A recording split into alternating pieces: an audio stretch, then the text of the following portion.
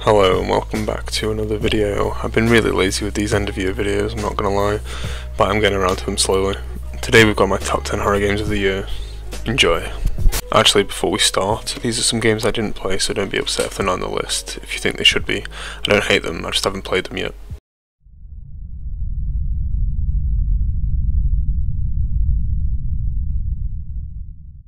I don't really have a lot to say about the Outlast Trials to be completely honest. It was one of my most hyped games of 2023 and it delivered, but it still feels kind of underwhelming. I should point out that I haven't actually been able to play multiplayer because I don't have any friends that have the game, and the multiplayer is quite a big part of the game so maybe that's why. Playing it with someone else could have possibly pushed it up the list, but I have to rank it on how I played it, and I've only ever played it solo. It can be scary at times, but I don't think it was ever going to reach the levels of the first two Outlast games, it's not really one big story, it's like a bunch of mini stories that you're thrown in the middle of without much context. I'm sure there's a bigger story, I've just not been enticed enough to go figure it out. It's still quite a bit of fun though, and I imagine it's even more fun with friends.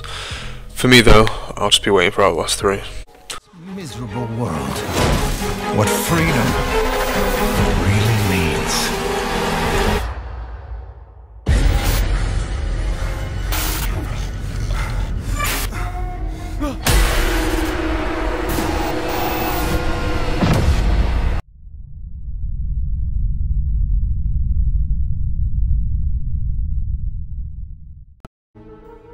Paranormasight is an anime-style visual novel, not usually a subgenre of horror I tend to play, but the overwhelmingly positive reviews on Steam persuaded me, and I ended up really enjoying it.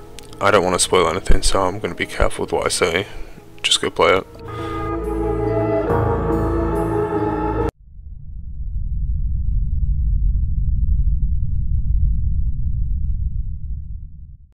Fear 2023 is basically the original Fear from 2016 and Fear 2 from 2019 packaged together and remade.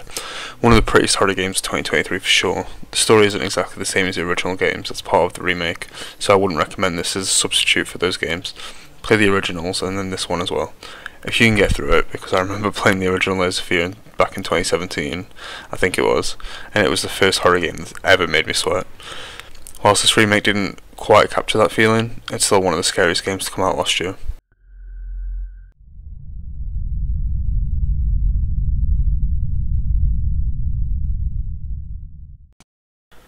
Lethal Company is by far my most played game out of any of these on the list, helped tremendously by the procedurally generated buildings that house some of the most fucked up monstrosities I've ever come across in a video game. Also, it's not required, but you almost have to have someone to play this with, because the atmosphere created by using the walkie-talkies and the proximity chat is next level terror and comedy at the same time. It's gonna explode, man. It's gonna explode.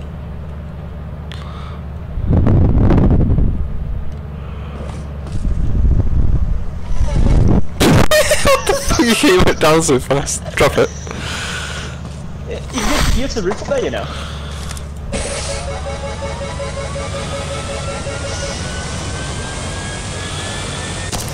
Right.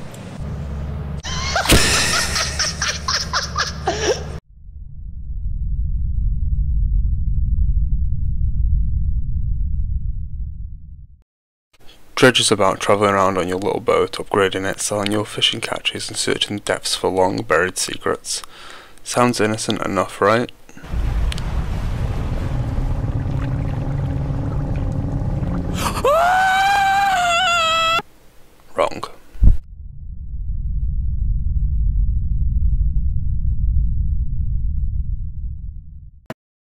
Dead Island 2 feels like more of the same. Luckily the same is really fucking fun.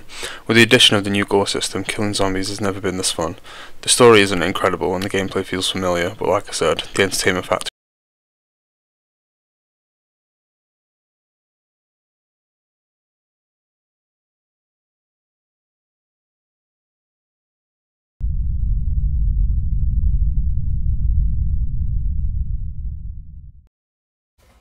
I think it's safe to say that Amnesia the Bunker and I didn't get off on the right foot at release.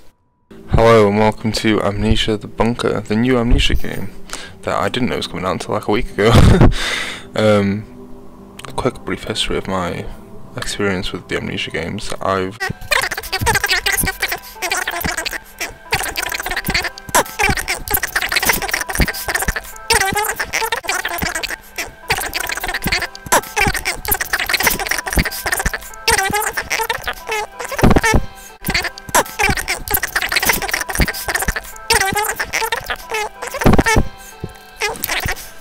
However, I've been able to play it since then, and this might be my favourite Amnesia game.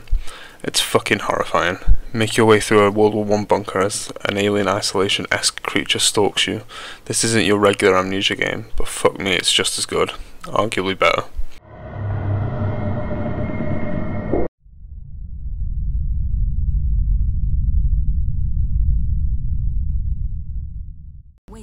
I enjoyed Alan Wake 2 from start to finish. Its map is much larger and exploration, exploration friendly than the first one, especially given that this is a survival horror game, a subgenre that usually sticks to more linear map sizes. A positive of this though is the replay value. The change of the inventory system being more akin to Resident Evil with limited space and resources was another welcome change. It does a good job of making you feel uneasy throughout. I'm not as passionate for this franchise as some, but I know a good horror game when I play one.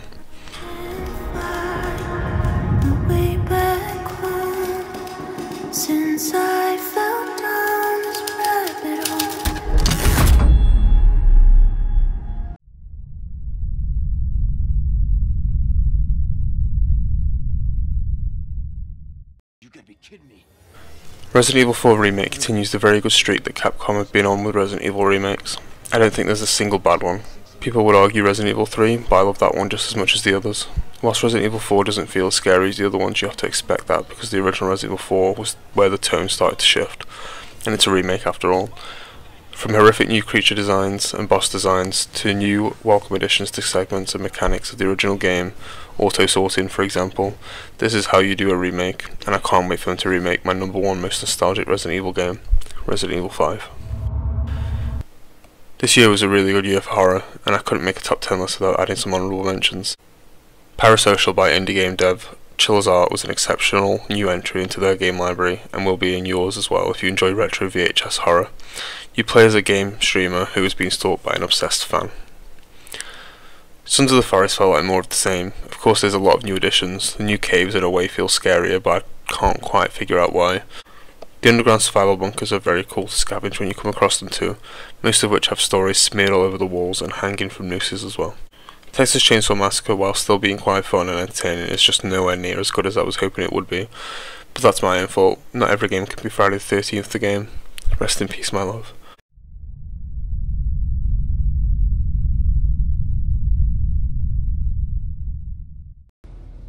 Dead Space is not only my favourite horror game that came out last year, it's my favourite game period that came out last year. A fact that's not backed up very well by me, as it took me 11 fucking months to finish. But yeah, the Dead Space remake is perfect. It's terrifying, anxiety inducing, and gorgeous from top to bottom. It's incredibly faithful to the original game, so much in fact that I think this game makes the original better. This is an absolute labour of love from the dev team, with very good additions like side, side missions and a new game plus. I can't forget the sound design either. The eerie sounds of the ship are now more atmospheric than ever.